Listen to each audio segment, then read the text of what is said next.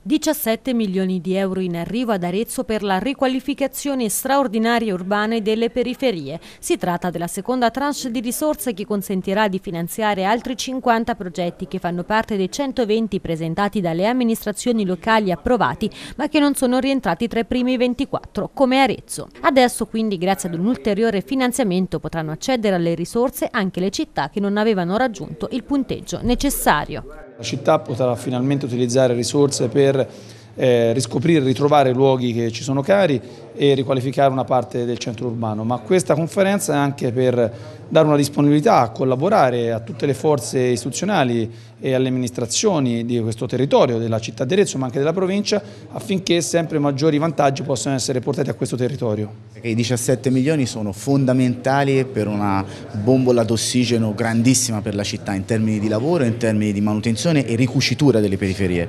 Adesso però si libereranno risorse.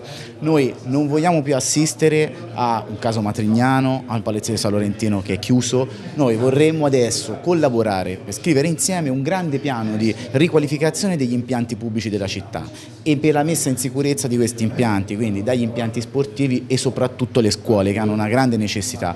È il momento perché il governo ci ha dato la possibilità di attingere a un fondo importantissimo, quindi con le risorse che si libereranno noi siamo pronti a collaborare per un grande piano di riqualificazione della città.